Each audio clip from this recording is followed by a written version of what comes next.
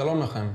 לא מעט אנשים שחוזרים בתשובה נבוכים בשאלה כיצד להתמודד. מצד אחד הם רוצים לייצג את היהדות כדבר חיובי, מצד שני יש להם כל מיני הגבלים ואיסורים הלכתיים שלפעמים מונעים מהם את הקשר שהם היו רוצים עם בני המשפחה ועם הסביבה.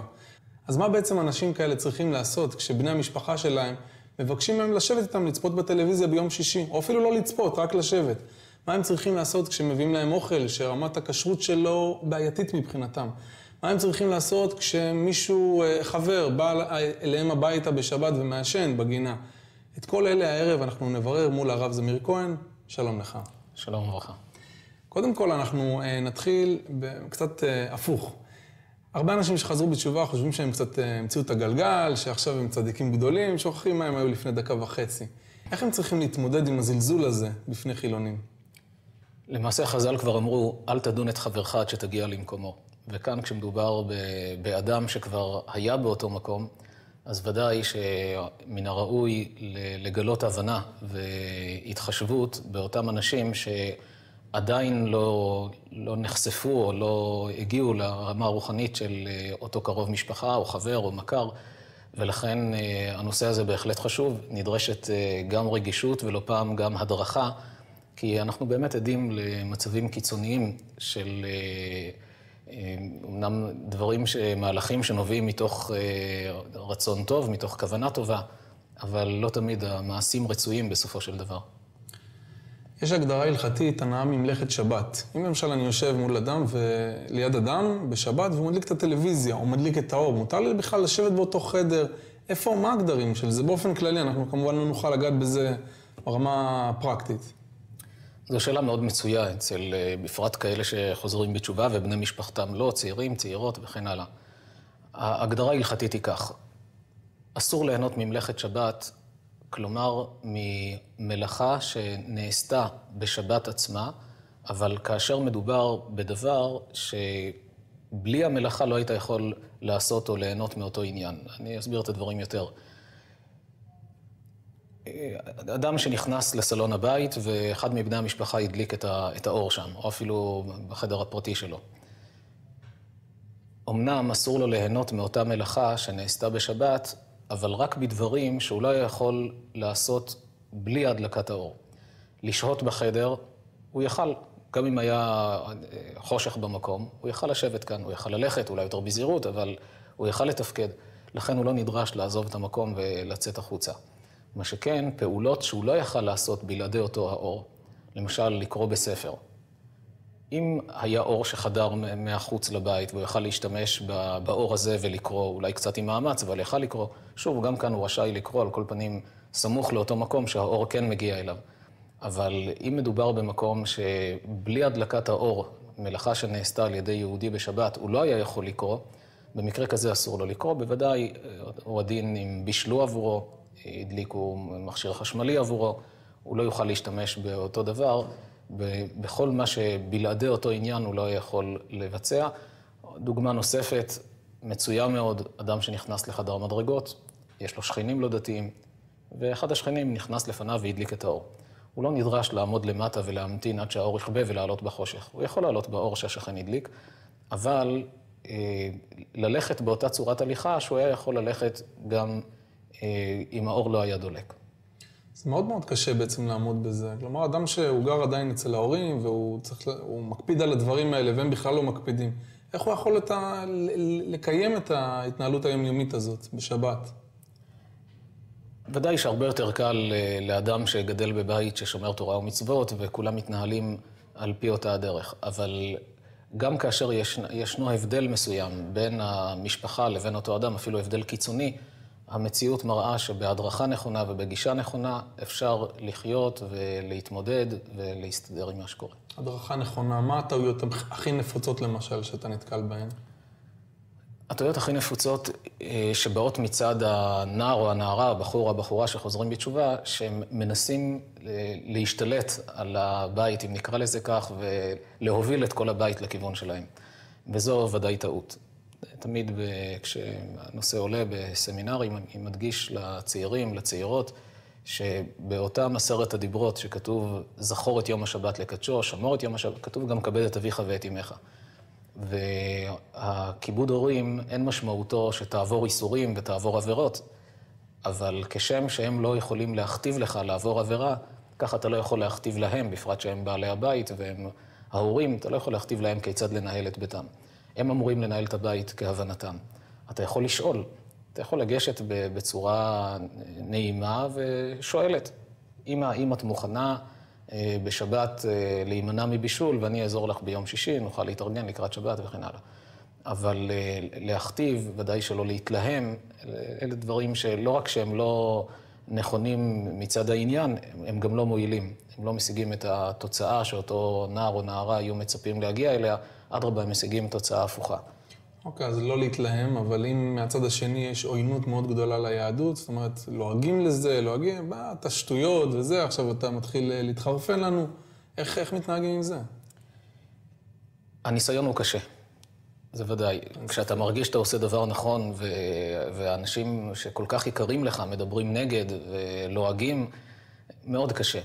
אבל אסור להיגרר לא... לאותה שפה ולאותו סגנון, לגלות הבנה פנימית, מה שמוגדר, הווה דן את כל האדם לכף זכות, כך לשון המשנה בפרקי אבות, כאן יש מקום נרחב לדון לכף זכות. שוב, הרי גם אני הייתי שם, כך הוא צריך לומר לעצמו, הרי גם אני הייתי שם. וגם אני לא, לא הבנתי כל כך מה המשמעות של בורא עולם, ותורה מן השמיים, והחיים שלאחר החיים וכולי. היום למדתי, נחשפתי יותר. הוא יכול בליבו לאחל גם לאחרים, שיהיה להם את, ה, את הכלים ואת היכולת ואת ההבנה לגלות עולמות חדשים, להיכנס מתוך אהבה ושמחה לתורה ומצוות, להתנהל בצורה יותר נכונה, כפי שהיהדות דורשת. אבל חלילה מלהיגרר לשפה וסגנון של עלבון ולעג. גם כאשר מקבלים עלבון ולעג, במשנה כתוב, איזהו גיבור הכובש את יצרו. וגם כאן, גיבור הכובש את יצרו, לא רק אם לאכול כשר או לא, לשמור שבת או לא, אלא גם לשתוק כשצריך לשתוק. לדעת להרכין ראש, בפרט כשמדובר בהורים. כאשר מדובר בהורים, צריך תמיד לזכור שיש שלושה שותפים באדם, הקדוש ברוך הוא, אבי ואימו, כמו שלא מתחצפים לבורא עולם, לא מתחצפים להורים, גם כאשר מתנהלים בדרך שלדעתנו לא נכונה. בוא נדבר גם מהצד השני.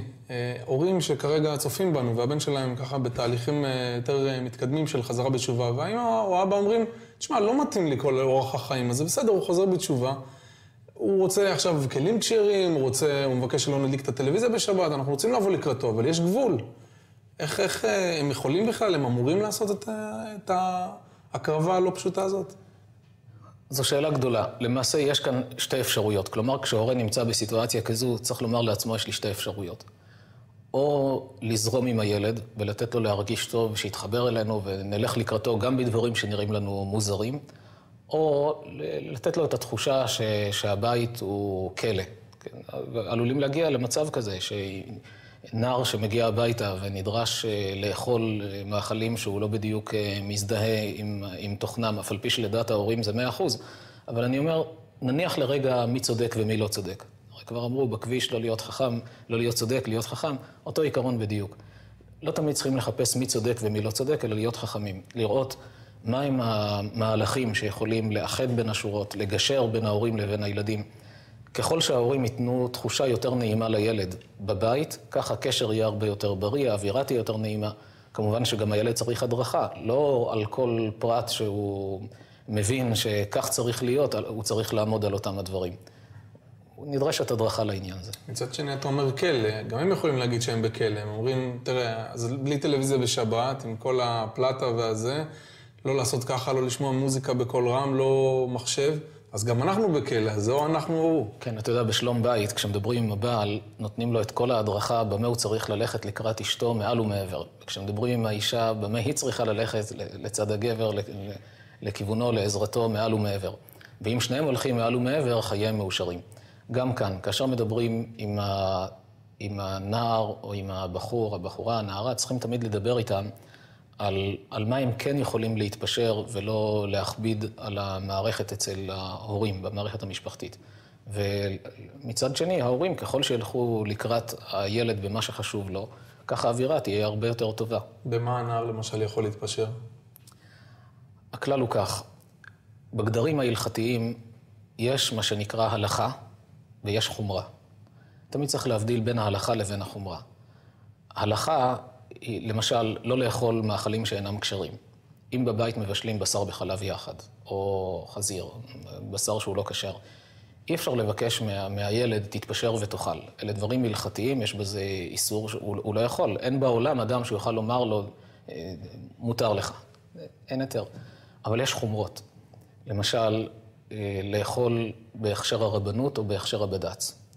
ייתכן שבישיבה שהוא לומד מקפידים רק על אה, בד"ץ, על הכשרים מהודרים, כי בעצם הבד"צים למיניהם משתדלים להכניס יותר הידורים ויותר אה, חומרות, ב... כדי שהמאכלים יהיו יותר ברמת כשרות גבוהה יותר. אם גם שם התגלו לא פעם זיופים וטעויות, אבל בסך הכל הקו הכללי הוא קו של רמה כשרותית יותר גבוהה. לא מתפשרים על דברים שבהכשר של הרבנות כן מתפשרים, כמו למשל להכניס אה, ג'לטין למאכלים, ג'לטין אה, שמופק מבעלי חיים, יש ג'לטין צמחי, שאיתו אין בעיה. Mm-hmm. ג'לטין שמופק מבעלי חיים, יש ויכוח הלכתי גדול האם מותר להשתמש בו או לא, כי בעלי חיים לא כשרים, רק עוברים תהליכים מסוימים. ברבנות מתירים, בד"ץ לא. מצד הדין, הוא יכול לסמוך על, על הכשר הרבנות במצב כזה. אם בביתו כן אוכלים, טעות תהיה לבוא לבית ולהתעמת עם ההורים, אני רוצה רק בד"ץ. אם ההורים יהיו מוכנים ללכת לקראתו, אז ודאי שזה הכי טוב. אם, אם לאימא, כשהיא מגיעה לסופר ורואה במדפים מוצרים שונים, היא יכולה לקחת מוצר דומה בהכשר בד"ץ, למה לא? שהילד ירגיש טוב, שיהיה שמח. אבל במצב שבו ההורים מתעקשים ולא מוכנים, אצלנו אנחנו לא, לא, לא אוכלים מעבר לרבנות, רק רבנות וזהו. אם יהיה בד"ץ מדי פעם, יש הרבה בתים כאלה. במצב כזה ההנחיה שהבן, ש...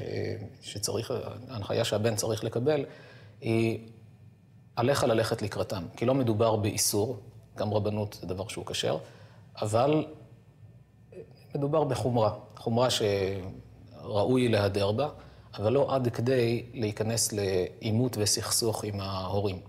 והעיקרון הזה מגובה בדעתם של גדולי ישראל. סיפר לי הרב דוד ברוורמן, אחד המרצים בהידברות, שהיה לו פעם ויכוח עם אה, בחור שמתחזק, הוא התעקש לאכול בבית רק אה, בד"ץ, וכל זמן שאין בד"ץ הוא לא אוכל. הוא שאל אותו, האוכל לא כשר? הוא אמר, כשר, אבל רבנות. הוא לא היה מוכן לקבל את דעתו, אמר לו, בוא נשאל את הרב חיים קנייבסקי, מגדולי הדור, אף אחד לא חושד בו בפשרנות. כשניגשו וסיפרו לו שמדובר בבית עם מאכלים בהכשר הרבנות ולא בד"ץ, הוא פנה בחיוך לאותו בחור ואמר לו, כשיש רבנות, בבית אוכלים מה שאימא מבשלת. אומר לו, אבל הרב, רק בד"ץ. בבית תאכל מה שאימא מבשלת, אם זה כשר, זה בסדר. וכך הוא חזר על הדברים עד שהבחור הפנים את הדברים ו... וקיבל אותם על עצמו. אני יכול לתת דוגמה נוספת, ששמעתי אותה מבחורים בישיבת פורת יוסף. הרב בן ציון אבא שאול היה ידוע, בעל הידורים וחומרות, ואחד מצדיקי הדור, ראש ישיבת פורת יוסף. וכאשר חזרו תלמידים ממסיבת שבע ברכות, וסיפרו לו שהייתה שם אה, אלמנה שטובת לב, דאגה מאוד לאחד הבחורים שהתחתן, והכינה סעודת שבע ברכות בביתה. הגיעו הרבה אורחים, כולם אכלו, אבל בשולחן של אותם אה, בחורי ישיבות, אה, היה להם, ככה נכנסה תחושה לא נעימה, מדובר ברבנות ולא בבד"ץ, ולכן הם השאירו את כל האוכל על השולחן ולא אכלו. אז הם אמרו לרב שהידרנו לא לאכול בד"ץ. אמר להם, אתם הידרתם בחומרה ונכשלתם באיסור תורה, כל אלמנה ויתום לא תענון. איך, איך היא הרגישה בסוף הערב כשראתה שבשולחן של הבחורי ישיבות אף אחד לא אכל מהמאכלים? אז נכון, כולם אכלו, אבל בשולחן שלכם הייתה לה תחושה לא נעימה, אתם לא אכלתם, זה מעליב, זה פוגע, יש איסור תורה, לא לענות אלמנה. כלומר, גם כאשר מתחזקים, צריך לדעת את האיזון הנכון ולקבל הדרכה נכונה של מה ועד כמה. ואם ההורים רואים שהבן מבוצר בעמדתו, כדאי לומר לו, בוא ניגש יחד ונשאל רב מה כן ומה לא, וילכו על דעת שבאמת הפשרה שתהיה שם תהיה מקובלת על כולם. לגבי אוכל, אם נגיד יש לי ילד קטן שאני מביא לדודים חילונים למשל, ומביאים לו איזה משהו גם כן בכשרות מפוקפקת כזאת, יש איזשהו גיל שאני צריך יותר להקפיד, או שזה תלוי בדברים אחרים? הטוב ביותר הוא להכין את הילדים לפני. כלומר, כשהולכים להתארח בבתים שלא ברור איזה ממתקים יקבלו שם, כדאי להכין את הילדים ולומר, אנחנו הולכים לבית של אה, אה, פלוני אלמוני, שם לא כל מה שאוכלים זה מה שאצלנו רגילים לאכול, זה לא, לא ההכשר שאנחנו רגילים, לא להטיל דופי בהם שהם לא בסדר, אלא אנחנו רגילים להכשר מסוים, והם אוכלים הכשר אחר. לכן כל ממתק שאתם מקבלים, תתנהגו בנימוס, אל תסרבו, תיקחו, תניחו בכיס, אחר כך נראה בבית, נבדוק יחד האם אה, זה ההכשר שאנחנו אוכלים. הבעיה שלי יש תאומים, בני שלוש וחצי, והם מאוד אוהבים ממתקים, זה לא כל כך יעזור. ילדים כאלה בגיל כזה, שלא תמיד אפשר להגיד להם את זה, אפשר להקל בזה או, שלא, ש- או שאי אפשר? בגיל ש... יש גיל חינוך. גיל חינוך הוא בדרך כלל גיל 4, 5, 6, תלוי בבשלות של הילד. בגילאים האלה חשוב יותר לחנך את הילדים, לשמור את הדברים. בגיל מאוד קטן, בפרט כשמדובר בהכשר רבנות, זה לא דבר שהוא לא כשר בכלל, באופן כזה לא, לא להעמיס עליהם. לפני שנעבור לנושא הבא, עכשיו אנחנו דיברנו על אה, דברים שאני מכניס לגוף. מה לגבי אווירה? למשל, אומרים לי, בוא תשב איתנו ביום שישי, הטלוויזיה דולקת, אבל לא אתה הדלקת. אל תצפה, אפילו אל תהיה בכיוון. זה מותר? זאת אומרת, האדם עצמו לא עובר את החטא. ליהנות מממלכה שנעשתה באיסור, מטלוויזיה שמישהו הדליק, או אה, אפילו אם היא דולקת מלפני השבת, אבל מדובר ב... ביהודים שמחללי שבת, אה, שם, לא, אבל הכוונה יותר לשיחת חולין. זאת אומרת, אומרים לי, שמע, היא אה, דולקת, יש כמה פה שצופים, אבל בוא, תשב איתנו, אל, ת, אל תסתכל אפילו. אם מדובר ב... שהוא לא נהנה בעצם מה- מהחילול שבת שנעשה, רק האווירה לא כל כך נעימה, התשובה היא תלוי באדם עצמו.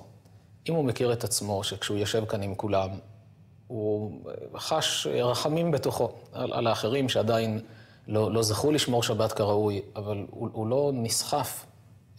היצרים שלו, הרי כולנו בני אדם, ועם כל העלייה הרוחנית, יש מצבים, כשאתה נמצא באווירה שהיא לא מתאימה למקום הרוחני שאתה נמצא בו, אתה עצמך נוחת. לכן, הכלל הוא כך, אם אתה עלול להיפגע מהאווירה הכללית הזו של טלוויזיה דולקת ואתה יושב עם האחרים, אז עדיף יותר לקחת ספר, לשבת בחדר וללמוד, או להזמין חברים ולשבת איתם בחדר עם דברי תורה ושירי שבת וסעודת שבת וכן הלאה. אבל אם הוא מכיר את עצמו, שהוא אדם שלו, לא, הוא לא ייפגע מזה. במקום שהוא די גבוה ו, וחש את ה, אפילו את הכאב על האחרים שעדיין לא זכו לכך.